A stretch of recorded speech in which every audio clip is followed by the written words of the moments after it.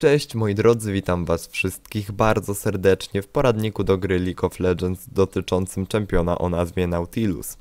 Ok, zacznijmy sobie może od garści podstawowych informacji dotyczących tego bohatera. Więc tak, y, jest to postać, którą możecie grać zarówno w dżungli, jak i na saporcie. E, ostatnio szczególnie Nautilus na saporcie stał się mega, mega popularny. Mój poradnik jednak będzie dotyczył e, gry tą postacią w dżungli, ponieważ uważam, że na tej pozycji jest tak samo silny. Ok, zacznijmy może od pozytywnych e, cech Nautiliusa, które czynią go po prostu dobrym junglerem. Po pierwsze ma dużo stunów oraz ma spowolnienie, co jest dosyć ważne, jeżeli gracie po prostu w dżungli. Po drugie jest dosyć wytrzymały, a ma też dosyć duży damage. Mm. Zapewne wiecie, aktualna meta składa się w sumie w dużej mierze z tanków, więc Nautilus tym bardziej idealnie się w tą metę wpasowuje. Jaki jest minus tego bohatera? Jest on dosyć powolny i początkowo może to bardzo, bardzo przeszkadzać, ale po zbudowaniu budków mobilności e, ta jego powolność przestaje być problemem. E, szczegółowy build podam w dalszej części filmiku. Ok, przejdźmy sobie może do omówienia umiejętności tego bohatera. Ok, zacznijmy sobie w takim razie od pasywki Nautilusa o nazwie Powalający Cios. Zobaczcie jak to wygląda. Podstawowe ataki Nautilusa zadają dodatkowe obrażenia fizyczne oraz unieruchamiają cele. Ten efekt może dotknąć danego przeciwnika tylko raz na kilka sekund. Czyli nasz, po, nasze podstawowe ataki są w stanie zestunować yy, jakiś cel, także jak widzicie już rzecz, która jest mega, mega przydatna w dżungli. Jednak yy, ten efekt nie może dotknąć tego samego celu yy, po prostu e, częściej niż raz na kilka sekund, co jest chyba zrozumiałe, ponieważ wyobraźcie sobie Nautilusa pod speed attack, który by was tak szybko stunował, że nie moglibyście się ruszyć. No, wydaje mi się, że tutaj to ograniczenie do tego stunowania raz na kilka sekund jest w miarę e, sensowne. Ok, skill na Q, czyli zakotwiczenie. Zobaczcie sobie jak to wygląda. Nautilus ciska swoją kotwicę. Jeśli trafi bohatera, przyciąga się do niego. Przyciąga się do niego i jego do siebie, czyli tak spotkałem się w połowie. Jeśli trafi na przeszkodę, przyciąga się do kotwicy, a czas odnowienia zakotwiczenia skraca się o połowę. Co tu dużo mówić? Jeżeli przyciągacie bohaterów, e, no to po prostu przyciągacie ich, o tutaj tak jak było pokazane, jeżeli trafiacie bohaterów, no to przyciągacie się do nich, ale jednocześnie e, ich do siebie, czyli tak spotkacie się właśnie w połowie. A jeżeli traficie na przeszkodę, to przyciągacie się w całości do kotwicy, no bo wiadomo, nie przyciągniecie, nie wiem, jakiejś górki z Summoner's Rift do siebie, tylko po prostu wtedy przyciągacie się do kotwicy, czyli do samego końca e, i e, cooldown na tym skillu jest skrócony o połowę, także całkiem, całkiem sympatycznie. To może służyć zarówno do ucieczki, no i wiadomo, w dużej mierze ta kotwica jest mega, mega przy gankowaniu. Ok, zobaczmy sobie W o nazwie Gniew Tytana.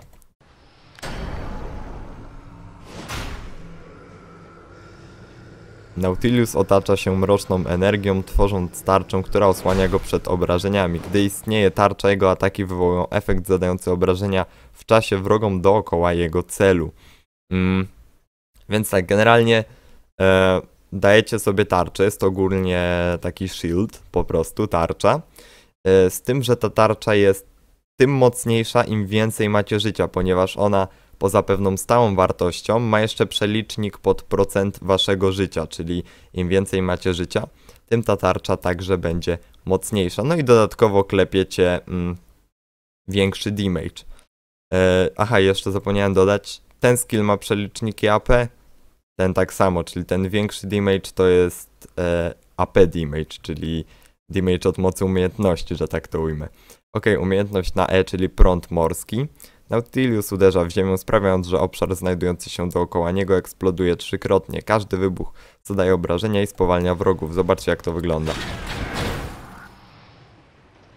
No czyli generalnie slow e, oraz mm, fajny skill pod damage. Niedawno e, Nautilus dostał buffa i ten skill ma strasznie niski cooldown, także jest naprawdę, naprawdę sympatyczny. No i cóż, e, jak widzicie Nautilus tworzy takie trzy wybuchy. Zobaczcie sobie.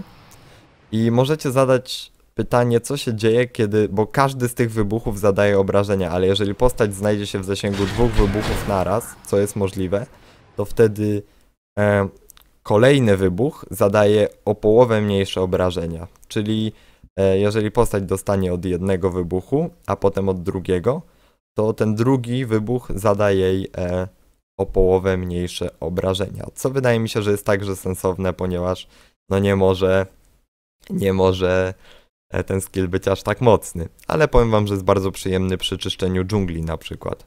Ok, no i wreszcie Ultimate Bomba Głębinowa. Zobaczcie jak, jak to wygląda. Nautilus trafia w ziemię falą uderzeniową, która goni przeciwnika. Rozrywa ona powierzchnię, podrzucając wrogów w powietrze. Kiedy uderzy w cel, wybucha, wyrzucając go w powietrze i ogłuszając. Mega dobry skill, przed którym praktycznie nie da się uciec. Kolejny czyniący Nautiliusa bardzo dobrym junglerem. Zobaczcie, nie ma, naprawdę nie ma jak z tego uciec.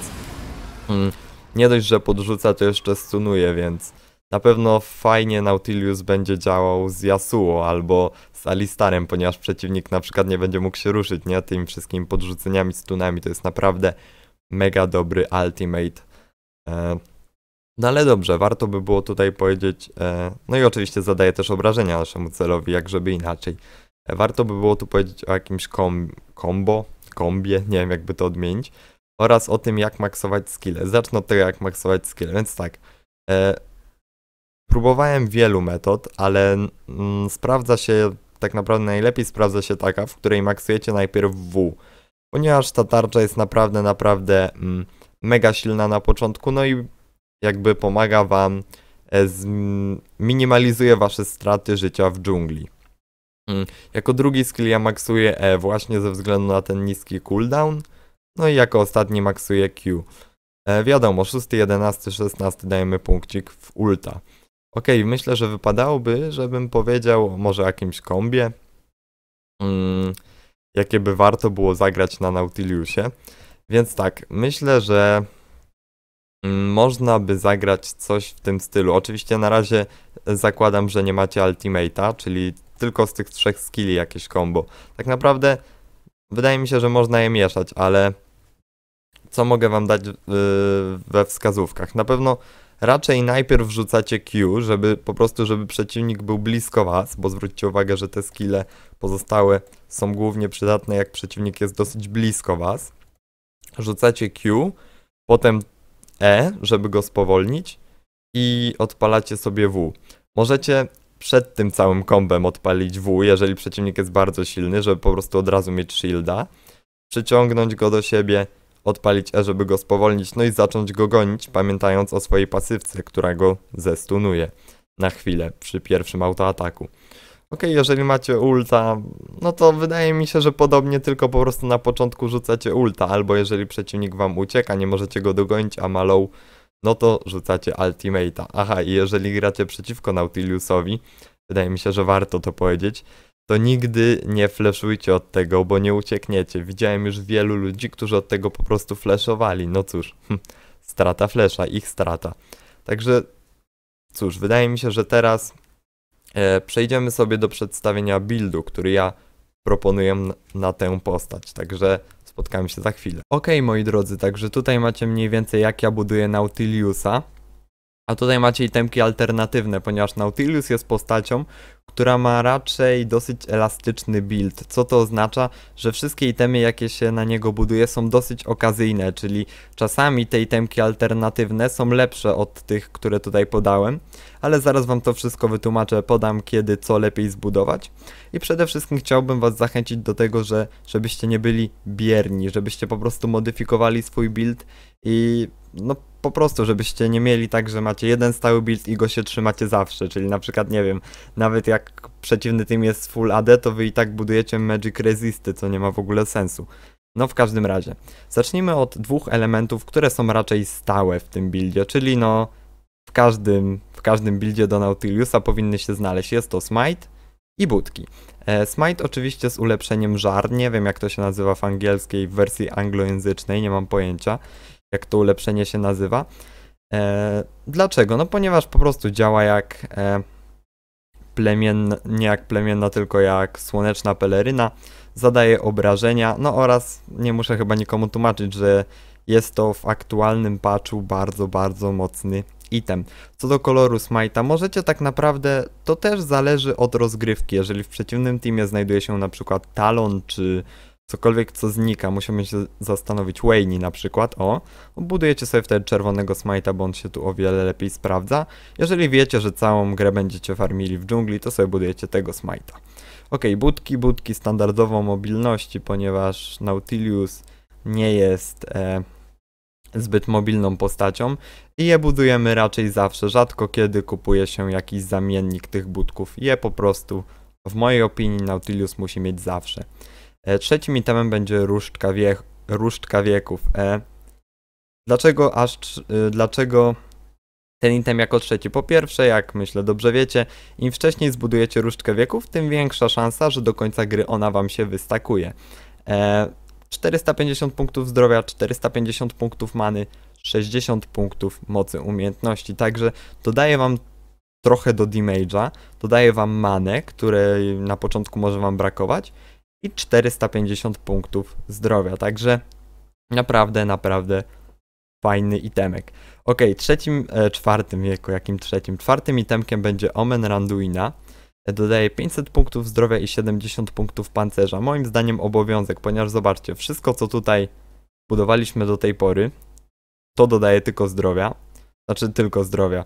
Chodzi mi o z tych rzeczy takich jakby defensywnych. O, to dodaje bardzo dużo zdrowia, to też dodaje bardzo dużo zdrowia, ale nie macie jakby armora w ogóle praktycznie. Nie macie armora, więc wypadałoby go już zbudować, ponieważ e, no, nawet jeżeli będziecie mieli dużo życia, to mimo wszystko jednak te, te postacie pod AD będą was klepały, jeżeli nie będziecie mieli praktycznie w ogóle armora, także ja bym tu poleciał Omen Randuina. Kolejnym itemkiem jest Frozen Heart, czyli mroźne serce, to daje 100 punktów pancerza, skraca wam cooldowny o 20%, yy, tam dodaje też many oraz zmniejsza prędkość ataku pobliskich przeciwników o 15%. Bardzo fajny item, doda wam naprawdę dużo, bardzo dużo pancerza. Niestety nie dodaje życia, ale naprawdę ten pancerz no jest po prostu ważny. Wtedy naprawdę będzie was bardzo, bardzo ciężko zabić. A przecież o to nam chodzi, bo Nautilus jest tankiem. No i ostatni item, Całun Banshee. 450 punktów zdrowia i co najważniejsze, dodaje też dodaje odporności na magię, a zwróćcie uwagę, że e, do tej pory żadnej odporności na magię nie zbudowaliśmy. Ok, jak widzicie zapewne tutaj mam itemki alternatywne i teraz tak, o co z nimi chodzi? Um, zacznijmy może od berła otchłani, choć wydaje mi się to... Nie, wiecie co, berło otchłani zostaje sobie raczej na koniec, ponieważ troszeczkę ciężej mi je wyjaśnić.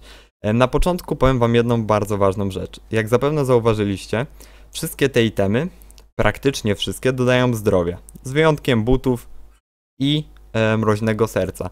I teraz tak, chciałbym wam po prostu ułatwić konstruowanie buildów na Nautiliusa, jeżeli byście chcieli jakiś swój właśnie skonstruować. Więc tak, podstawą, czyli to co ja sobie założyłem przy układaniu buildu na Nautiliusa, to to, że maksimum dwa itemki mogą nie dodawać zdrowia. Dlaczego to zdrowie jest takie ważne? Ponieważ tarcza, macie tym e, jakby tym mocniejszą tarczę, im więcej macie zdrowia, więc siłą rzeczy, jakby inwestując w zdrowie, inwestujecie też no w jeszcze mocniejszą tarczę, co wam pozwoli po prostu o wiele, wiele e, więcej, o wiele, wiele dłużej przetrwać na polu walki. E, więc tak, tak jak właśnie tu zauważyliście, to dodaje zdrowia, to nie dodaje, to dodaje, to dodaje, nie dodaje i to dodaje, czyli cztery itemy pod zdrowie, dwa, e, jednym są buty, no i ten ostatni typowo pod armor. E, i ja bym się trzymał tej wersji, czyli 4 itemki pod zdrowie. E, czyli tak, y, zamiast całunu Banshee niektórzy grają Anioła Stróża. Jest to całkiem fajny item, więc sobie go tu wrzućmy. Tylko wtedy zwróćcie uwagę na jedną bardzo ważną rzecz. Teraz trzy itemki dodają nam zdrowia, więc no troszeczkę słabo, bo jednak nasza tarcza staje się przez to słabsza.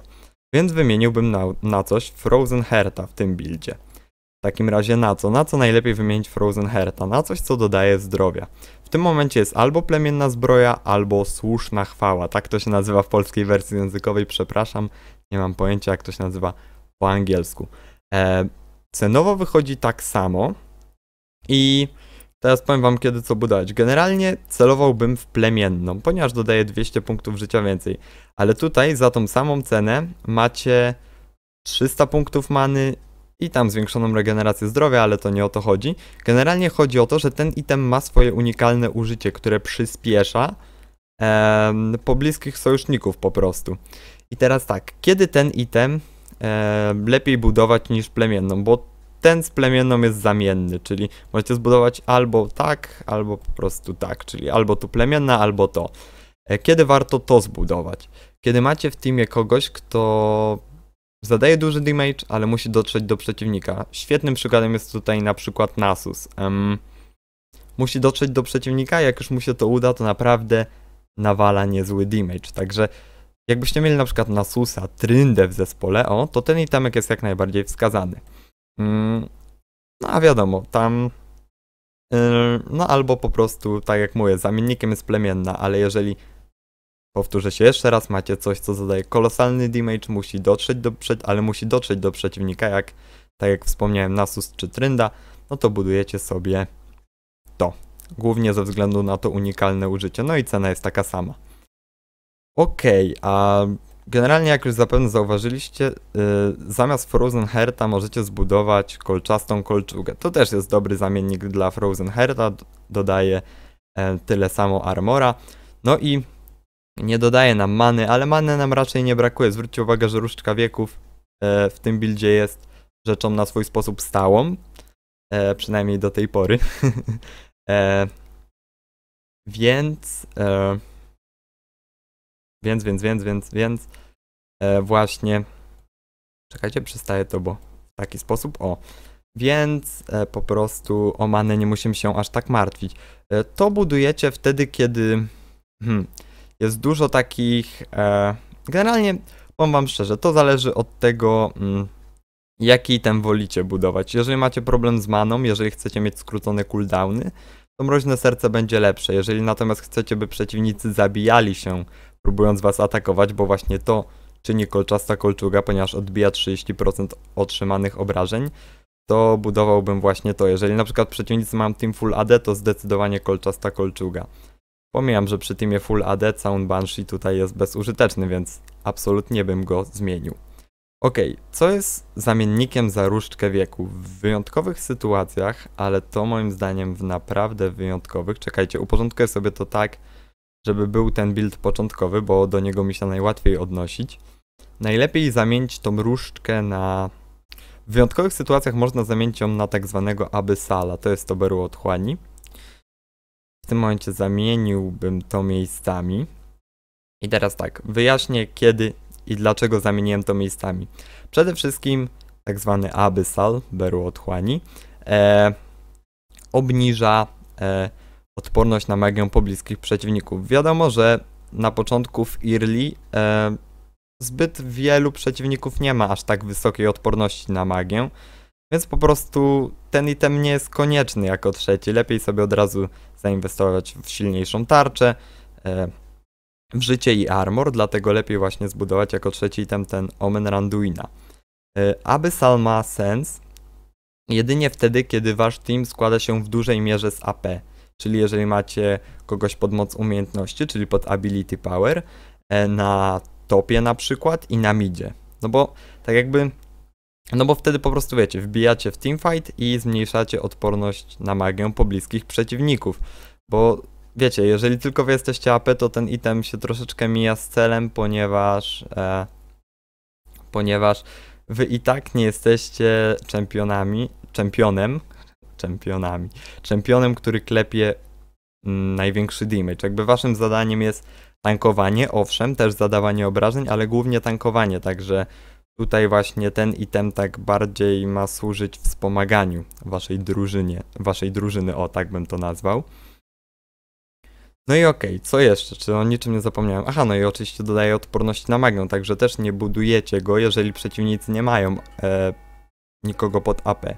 Ok, no jak widzicie w tym buildzie, który jest teraz na górze, jest pewna nieprawidłowość, mianowicie trzy itemki nie dodają zdrowia, więc trzeba zrezygnować z Frozen Hearta. W tym wypadku zobaczcie. Um, zegar mi dzwoni, wybaczcie. No w każdym razie. W tym wypadku zobaczcie. Macie życie, macie armor, ale tego armora macie naprawdę no troszeczkę mało. Więc co by tu można było zbudować, żeby dodawało życia? Mi się wydaje, że dobra by tu była plemienna. Możecie zrezygnować wtedy y, z całunu Banshee. Zamiast niego sobie złożyć na przykład o jeszcze słuszną chwałę. Aczkolwiek ten build to jest taki, wiecie, mocno tak troszeczkę armora, troszeczkę odporność na magię, reszta full życie, ale to też nie znaczy, że jest zły, także zachęcam was naprawdę do kombinowania z tymi temami. Jeszcze dodam, wiem, że to już troszeczkę przy, przynudza mi, że to już troszeczkę długo trwa, ale dodam jeszcze, bo widziałem, że niektórzy budują, ja nie mam bladego pojęcia, gdzie ja to mogę znaleźć, powiem wam szczerze, myślę, że w zdrowiu. Niektórzy budują, o, to, e, ten naszyjnik e, żelaznych Solari. To jest dobre, jeżeli wasz team nie ogarnia, powiem wprost. Czyli jeżeli jakiś apek się nafiduje, czyli na przykład tak Katerina nam idzie, a wasz support, bo wiecie co, ja generalnie ten item traktuję jako, głównie jako item, który powinien zbudować support. Ale jeżeli no wasz, wasza drużyna po prostu nie chce, bo czasami tak jest, że support jest oporny i nie chce budować tego itemu, no to wypadałoby, żebyście wy go zbudowali, ponieważ um, wspomaga on waszych sojuszników, daje im odporność na magię, zwiększa ich regenerację zdrowia, no i ma to unikalne użycie, które daje tarczę. Także jeżeli gracie przeciwko Katarinie, to to też powinno być dobre, jeżeli w przeciwnej drużynie jest Katarina, ponieważ mm, no ponieważ zwyczajnie wiecie, Katarina to jest troszeczkę postrach, więc e, możecie po prostu uratować swoim sojusznikom tyłek budując ten item. Ok, czy niczego nie pominąłem? Mm. Oczywiście to, co powiedziałem, to wszystko nie jest czymś do czego musicie się stosować. Także zasada czterech itemów pod życie nie jest niczym zobowiązującym. Pamiętajcie o tym. Po prostu uważam, że Nautilus, że warto, żeby Nautilus miał dużo życia, ponieważ ma naprawdę potężnego shielda.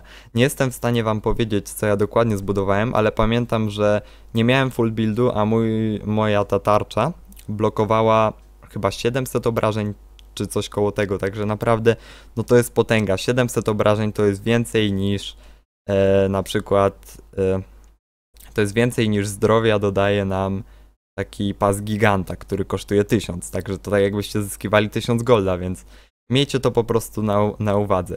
Ok, bo naprawdę mega, mega się rozgadałem. Także przejdźmy sobie już do udanych akcji, do moich udanych akcji, e, tą postacią z moim komentarzem. Okej, okay, także w tym miejscu widzę okazję na bocie. Zobaczcie, tutaj są, jest dwóch przeciwników, którzy mają dosyć mało życia. E, idę tak charakterystycznie po prostu, żeby taka lista nie próbowała uciec mi krzakami. Używam swojego E, e używam tarczy, zabijam autoatakiem Kalistę. Z użyciem kotwicy czekam, w razie gdyby Leona próbowała uciec. No i wyszło to całkiem śmiesznie, ale zdobyłem double killa. Lucian zdobył dwie asysty, aczkolwiek szkoda, że nie zdobył żadnego killa, bo wiadomo, to jest ADC i mu na pewno bardziej się te kille przydadzą niż mi. W tym miejscu wraz z Bardem jesteśmy w krzaku i zobaczcie, tutaj e, jakby odkrywa nas duszek Kalisty, Bard używa tunelu, e, ja używam swojego E, spowalniając tym samym Kalistę, stunuję ją, jednocześnie smajtuję. No i Tutaj przyciągam się kotwicą do Leony, używam swojego E, ona używa na mnie Exhausta i zobaczcie, tutaj tak ładnie się przyciągnęła do tego Luciana, naprawdę tutaj wywalczyła sobie naprawdę dużo, dużo czasu. Mm, no i myślałem, że jej nie zabijemy, ale jednak, no jednak udało się ją tutaj dorwać. Oczywiście dostałem asystę, także całkiem fajnie, no ale niestety, zobaczcie, tutaj e, zdążył już po prostu dotrzeć Fizz ja niestety nie miałem jak go zabić, ponieważ nie miałem many. No niestety. Afis zabił nam Luciana. Ok, w tym miejscu chciałem obronić Mida. Myślałem, że ten Z po prostu się wycofa, ale zobaczcie, on zamiast tego wolał mnie zultować. Ja odpalam oczywiście swoją tarczę. Z użyciem kotwicy i ulta jeszcze czekam. Teraz zesmajtowałem go, teraz używam kotwicy. E, używam ulta od razu, żeby po prostu nie, nie biegać za nim pod wieżą. No i zobaczcie, udaje mi się go pokonać. Naprawdę spoko akcja. Myślałem, że nie dam rady, ale jednak się udało. Plus 300 golda, wiadomo, zawsze, zawsze się przyda. No i mogę się w, spoko w spokoju wrócić do bazy, żeby sobie coś kupić. Ok, w tym miejscu robimy smoka. E, Z chciał nam chyba przeszkodzić, no ale Nasus bardzo szybko wybija mu ten pomysł z głowy. Ja używam kotwicy na kaliście, używam następnie swojego E, no i autoatak ją dobija. Ok, tutaj Leona nas ultuje. Jednak zwróćcie uwagę, dostaje spowolnienie od Nasusa, ja się zbliżam, dostaje spowolnienie ode mnie. E, no i tutaj niepotrzebnie ją zesmajtowałem, ale udało się, ją, udało się ją zabić. Bart i Nasus dostali asystę, więc całkiem, całkiem fajna akcja. Okej, e, w tym miejscu widzę zadymę na midzie, oczywiście fokusuję Zeda. E, On się jednak znacząco oddala, jeszcze fleszuje, więc musiałem porzucić ten pomysł. Mm, Leona tutaj tymczasem ginie, pojawia się Jax, dostaje spowolnienie od Nasusa, ja się do niego przyciągam, używam E oraz swojej tarczy i tu chciałem uciec od tego Jaxa, żeby po prostu on nie E nie trafił, no ale doskoczył do mnie, no ale w każdym razie udało się go zabić, więc a on był na serii, to dostałem 500 golda i wszyscy z mojej drużyny otrzymali asystę.